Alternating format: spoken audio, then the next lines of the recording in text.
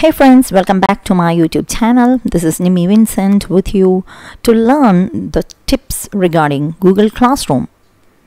In this video, I am going to share with you a small information about how to unenroll from a Google Classroom. To unenroll or to exit from a Google Classroom, you have to open your Google Classroom platform. Now here I would like to unenroll from this class.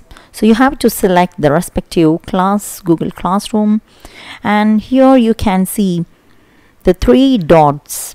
Just click over there and you will see unenroll option. You just click over there and you have to click again unenroll to confirm.